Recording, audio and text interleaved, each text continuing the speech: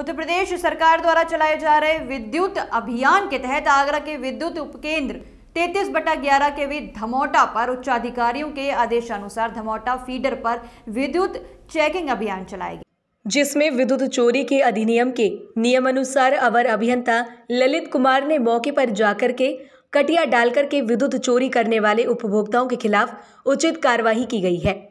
जिसमें मौके पर आठ उपभोक्ता घरेलू व एक कमर्शियल अतिरिक्त केबल द्वारा विद्युत चोरी करते पाए गए और विद्युत अवर अभियंता ललित कुमार ने